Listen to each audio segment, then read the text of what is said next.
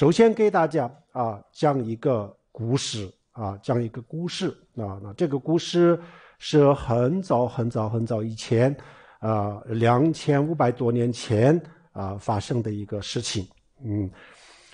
呃，两千五百多年前啊，印度有一个国王啊，有一个国王啊。那么当时的这个最好的呃交通工具呃，在印度啊。啊，还有很多地方都是大象啊，大象是最好的啊，这个啊云鼠的呀啊等等，就就像我们今天的这个汽车啊啊，那么呃这个国王啊就得到了一个非常非常好的啊这个大象啊，他特别特别的喜欢这个大象，但是这个大象啊那个时候呢。啊，还没有这个驯服啊，还没有驯服，所以呢，印度有专门的这个驯香师啊，专门去驯服大象的这样子的人，专业的人。然后呢，啊，这国王把这个大象啊交给一个这样子的专业的啊驯香师，嗯，让他去驯服这个大象啊。然后呢，驯香师啊就花了。呃，这个很多的功夫啊，终于把这个大象啊驯服的非常非常的啊，非常非常的这个呃温和啊，非常的好啊，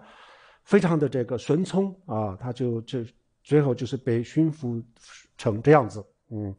那驯服完了以后呢，有一天啊，那这个这这个专业的驯象师给国王讲啊，我把这个大象啊已经。啊，这个驯服的很好了啊，那这样子以后呢，国王说，那我也要试一下啊啊，国王也骑在这个大象的这个背上啊，然后呢，驯象师呃也在这个大象的这个啊骑在这个大象啊的背上，然后呢，他们两个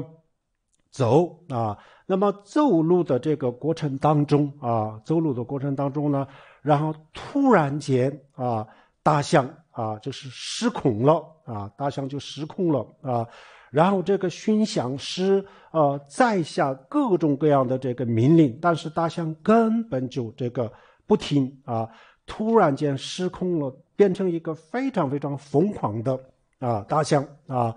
然后就是翻山越岭的跑啊，那这个时候呢，就是国王他以为啊这个驯象师是故意的啊，故意的啊。然后大这个国王就特别的这个生气啊，你根本就没有把这个香啊这个驯服啊，那这样子以后呢，你还让我啊，你来你还敢欺骗我啊，我一定要啊砍你的头啊啊！如果这个时候如果真的是这样子欺骗国王的话，那肯定是要杀头的啊。这样子以后呢，寻香是。就解释给国王啊，我真的不敢啊欺骗国王，根本就不可能的。我真的是把这个香啊大香啊驯服的非常非常啊温和啊啊，国王根本就不相信啊。然后呢，这个驯象师是就说，如果不相信的话啊，过两天啊这个啊我可以给你看。啊，那么这个时候呢，就他们就就进入了一个森林啊，森林的时候呢，他疯狂的跑。这个时候呢，啊，这个驯象师给国王讲啊，抓住这个树枝，嗯，让国王抓住树枝啊，然后呢，他们两个就就抓住了一棵树的这个树枝啊，然后就掉到地上了啊，驯象师和国王，嗯，然后他们两个就在这个地方啊，就探讨这个问题啊，呃。驯象师啊，特别的害怕，就给国王讲啊，我这个象是我一定是驯服的非常好的啊啊，但是他先啊过两呃呃今天啊这个是一个意外，嗯，那国王就说为什么是意外？这什么意外呢？如果你把大象啊驯服的那么好，它为什么失控了？它为什么啊疯狂这么疯狂呢？然后啊这个熏香师就是说啊。这个周边啊，这个这个他们的这个骑的这大象是一个公的啊，这周边有母的啊，这个大象啊，那么这个母的大象啊正在发情，嗯，那发情的时候呢，大象啊它有一种特别的这个味道啊，那这个公公的这个大象，他闻到了这个这个味道啊，这样子以后呢，他就失控了啊。他就是这个原因，这个并不是我没有把它这个驯服好啊，就是因为他问到这个问题呃，这个这个味道以后呢，大象就很疯狂啊，就不听我的这个任何一个命令，嗯，然后如果国王不相信的话，那么大象啊，两天三天以后呢，他会自己会啊主动的会回来的啊，那那个时候。我真的有没有把他驯服的好？我可以给你看啊，可以 可以给你看啊。然后国王说：“那好，那我给你两天的时间啊。如果那个时候如果真的还不回来，或者是你没有把他这个啊这个驯服好，那一定要啊要杀杀头啊，一定要砍你的头啊啊。这样子以后呢，国王跟这个驯象师走路啊回去了，啊回去了以后呢。”两三天以后，果然啊，这个大象它就回来了，乖乖的回来了。那回来了以后呢，那这个熏香是怎么样啊？证明啊，给国王看，他已经驯服好这个这个大象啊，呃，那么就是国王也在，熏香师也在，还有很多很多人啊，就在这么多人的面下啊，呃，面前，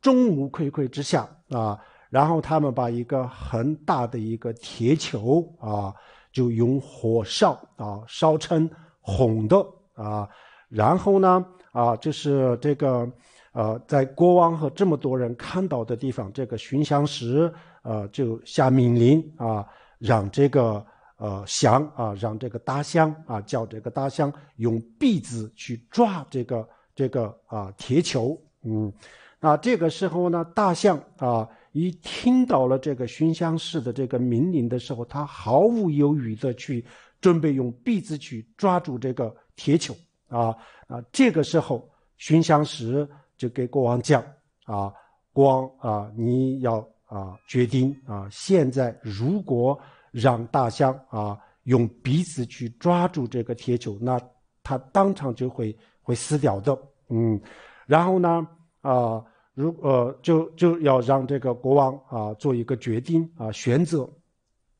那这个时候呢，国王也看到了啊，他确实是啊毫无犹豫的呃去这个准备就用这个鼻子去呃抓住这个铁球啊啊，这个完全是没有任何的问题了啊，他一定这个时候就跟前几天完全是不一样啊，他一定去去去抓住这个铁球。啊！但是国王他特别的这个啊心疼这个这个大象，他舍不得啊，他希望这个啊他他他啊希望以后啊他拥有这个大象啊。那这个时候呢，这个呃国王他也相信了啊，他完全相信了。那这个时候国王给这个熏香师说：“好，你可以呃给他讲啊，不用去抓住这个铁球啊，我相信你是驯服的非常好。”嗯，然后呢，这个完了以后呢，那国王就是非常非常的啊，这个这个忧郁困扰啊。那么前几天这个啊大象那么的疯狂啊，那么今天呢，这么一个火烧红了的这个铁锹，他都不一不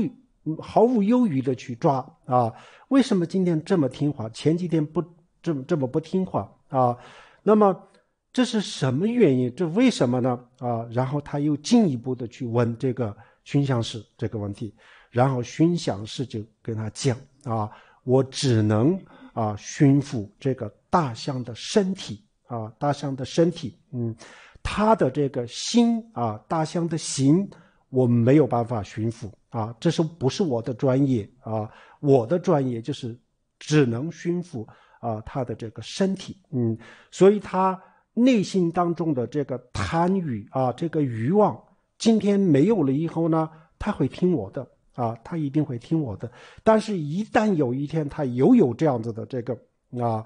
这个贪啊这样子的时候呢，他啊照样啊会失控的，他不会听我的。那是为什么呢？因为我不是啊。这个驯服他的心的这个专业的人，所以这不是我的工作，我做不到啊。这样子回答了以后呢，然后国王就说：“那这个世界上啊，有没有一个人能够驯服这个心啊？有没有这样子的专业的人呢？”嗯，然后这个啊，熏香师就说：“有有一个人啊。”国王说：“这谁呢？”他说：“有一个叫做释迦牟尼佛啊，他是专业的人，他有办法啊，这个。”调伏啊，所有人的心啊，他有办法驯服所有人的心啊，我是没有办法啊。然后呢，国王就特别特别的这个好奇，他一定要见去见一下这个人啊，他一定要去看一下这到底是一个什么样的人啊。然后就这个熏香师跟啊这个国王一起走到释迦牟尼佛的面前啊，这一上呢。就是一个呃一个故事啊，一个故事，人的肉体呃，或者是包括动物啊，很多时候都是可以啊这样子驯服，嗯，驯香师啊，专业的这个驯服的人，他可以驯服啊。但是如果人的人也好，动物也好啊，这个内在的我们的心如果没有驯服的话啊，那么。不听话的啊，会失控的啊，会非常非常的疯狂的啊，这样子